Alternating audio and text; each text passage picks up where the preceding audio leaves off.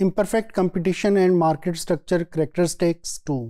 हमने मार्केट्स को कैटेगराइज किया on the basis of market structure characteristics जब हमने मार्केट स्ट्रक्चर करेक्टरिस्टिक्स की बात की तो हमने वहाँ पे डिस्कस करते हैं about number of sellers and buyers हम बात करते हैं अबाउट प्रोडक्ट डिफ्रेंसीशन की. वहाँ पे हम बात करते हैं barriers to entry and exit और हम बात करते हैं about the economic environment within which industry operates अब अगर हम बात करें with reference to product differentiation तो under perfectly competitive competitive market में क्या सिचुएशन होती है? कि आपकी प्रोडक्ट अनडिफ्रेंशिएटेड होती है। या यूँ कह लें product that is being produced by different sellers are homogeneous in nature लेकिन जब आप इम्परफेक्टली कंपेटेटिव मार्केट में जाते हो तो it might be possible product is homogeneous in nature or differentiated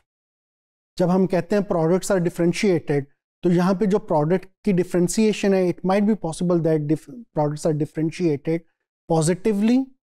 or negatively in the minds of the buyer हाँ जी, अगर वो कि जी आप एक प्रोड्यूसर था, एक प्रोड्यूसर है, उसने अपने जो बायर्स हैं, उनके माइंड में कुछ इस तरह की डिफ्रेंसिएशन क्रिएट कर दी कि the output that is produced by my firm is superior than the output that is being produced by other firm या आप यूँ कह लें कि एक पर्टिकुलर लोकेलिटी में कुछ फार्मर्स हैं हु आर प्रोड्यूसिंग वेजिटेबल्स और जो वो वेजिटेबल्स प्रोड्यूस कर रहे हैं, अब यूँ यूँ कह लें कि हर फार्मर ने कोई सेलियंट से फीचर्स बताना शुरू कर दिया कि जी, द वेजिटेबल जो मैं प्रोड्यूस कर रहा हूँ, उसके ये करेक्टरिस्टिक्स हैं। क्या जी, इसमें हम, आप कह लें we are using less amount of pesticide we are using less amount of insecticide अब अगर बायर के माइंड में ये चीज़ बैठ जाए कि ये जो फार्मर है, ये बहुत रिलेटिवली बहुत कम पेस्टिसाइड्स और इंसेक्टिसाइड यूज़ कर रहा है for the production of the vegetable तो एक एफिलिएशन डेवलप हो जाएगी। वो कंसिडर करेगा था कि वेजिटेबल जो भी ये फार्मर प्रोड्यूस कर रहा है, वो एक डिफ्रेंशिएटेड इन नेचर है with reference to other farmers अब जो कोई दूसरा फार्मर होगा, उसने भी कुछ इसी पैट में कोई करेक्टरिस्टिक्स डिस्क्राइब किए होंगे कि ये जो मेरी वेजिटेबल है, इसके ये करेक्टरिस्टिक्स हैं इट हैज़ पॉजिटिव इम्पैक्ट कि we are using a particular quality of the seed जिसकी वजह से आप कह लें कि it has good impact on the health of the individuals अब कुछ ये भी हो सकता है कि सम टाइम कोई नेगेटिव किस्म की एसोसिएशन आप कह लें, वो एक पर्टिकुलर प्रोडक्ट के रेफरेंस में बायर्स के माइंड में बैठ जाए। अगर पॉजिटिव होगी तो वो आप कह लें कि उस पर्टिकुलर डिमांड उस पर्टिकुलर कमोडिटी की डिमांड के रेफरेंस में क्या होगा? तो उस प्रोडक्ट की वो डिमांड ज़्यादा करेंगे। If they have some positive association with reference to product that is being produced by a particular seller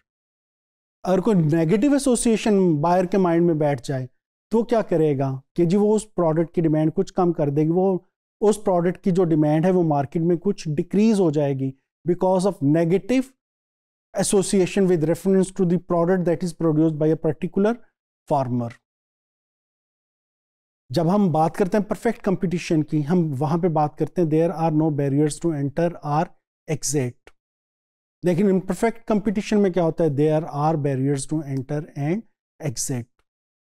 वो जो बैरियर्स हैं एंटर टू एग्जिट वो किस नेचर के हो सकते हैं? इट माइट बी पॉसिबल कि because of absolute unit cost advantage जब आप कहते हो एब्सोलूट यूनिट कॉस्ट एडवांटेज तो इट माइट बी पॉसिबल कि जी, एक पर्टिकुलर बिज़नेस में, एक पर्टिकुलर इंडस्ट्री में जो एग्जिस्टिंग प्रोड्यूसर है, उसकी पर यूनिट कॉस्ट लो हो as compare to new entrant कि जो भी नया बंदा उस बिज़नेस में आ रहा है, उसकी कॉस्ट तो कुछ हाई है, लेकिन जो बंदा ऑलरेडी आप कह लें, उस प्रोडक्ट को प्रोड्यूस करे उसकी पर यूनिट कॉस्ट क्या है? Is less than the new producers are entering in that particular business जब उस ओल्ड प्रोड्यूसर को एडवांटेज है on on on the on new producers of that particular output तो देन क्या होगा there no one will enter in that particular business to produce output. फिर it might be possible कि there are barriers to entry because of economies of scale. कि जो आपके पास, आप कह लें, जो एफिशिएंट लेवल ऑफ़ प्रोडक्शन है, जो एक स्मॉलेस्ट यूनिट आपको चाहिए to produce an efficient level of production उसकी जो आप कह लें प्रोडक्शन है that production is more than the market requirement कि जो, अब जो भी कोई दूसरा उस बिज़नेस में एंटर होगा तो उसके लिए उस he has to carry out an huge investment to produce to produce output in that particular market फिर इसी पैटर्न पे कि जी it might be possible to produce certain items it required some capital. और कैपिटल भी क्या है? It requires huge amount of capital to carry out the production of particular commodity जो new producer आएगा अगेन क्या होगा? He has to carry out an huge investment in capital लेकिन it might be possible even after carrying out huge investment in capital he is not in a position to to have a share in the total output that is produced, that is required in the market. और जो इस तरह के आप कह लें, एक undue किस्म के फियर्स होंगे, वो क्या करेंगे? दे विल वो प्रोड्यूसर्स को न्यू प्रोड्यूसर्स को उस पर्टिकुलर बिज़नेस में आने से रोकेंगे। कई दफ़ा ऐसा भी होता है कि there are certain government policies जो रिस्ट्रिक्ट करती हैं to carry out production in a particular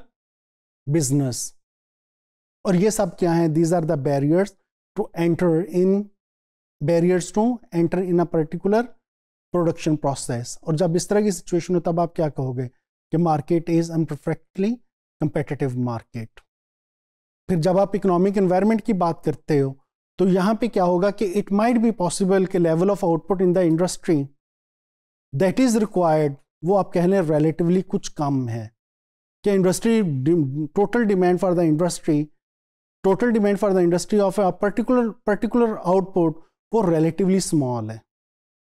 और जो आपके पास एग्जिस्टिंग प्रोड्यूसर है they are in in a position to meet the demand current demand in the market फिर इसी पैटर्न पे अगर आपकी जो सप्लाई है और डिमांड है वो उसकी रिस्पॉन्सिवनेस टू प्राइस क्या किस तरह की हो, हो सकती है सप्लाई एंड डिमांड यहाँ पे? It might be possible supply supply and demand is elastic or inelastic अगर हम बात करें demand for a particular product is inelastic तो वहाँ पे क्या होगा कि जी कुछ डिमांड इज़ इन इलास्टिक कि वहाँ पे बहुत कम स्कोप होगा to grow in that particular business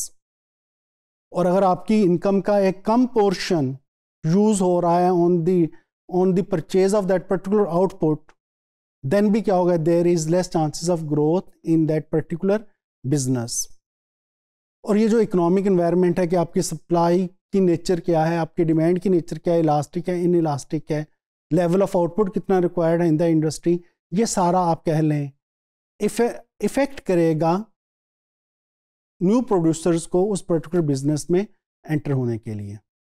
So whenever we make discussion about the market structure under imperfectly competitive market तो वहाँ पे क्या होगा